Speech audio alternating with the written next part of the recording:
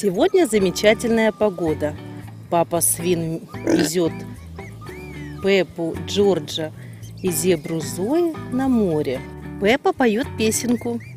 Сегодня выходной, сегодня выходной. Папа везет нас на море с семьей. Дети, выходите с машины. А, мы на море, Джордж. Чтобы дети не обгорели на солнце, папа Свин мажет их кремом.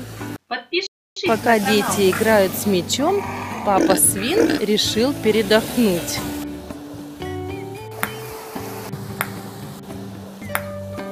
После игры в мяч ребята решили попить лимонад.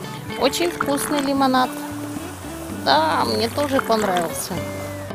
Пока папа Свин отдыхает, я пойду поплаваю с кругом. Папа мне сказал далеко не отплывать.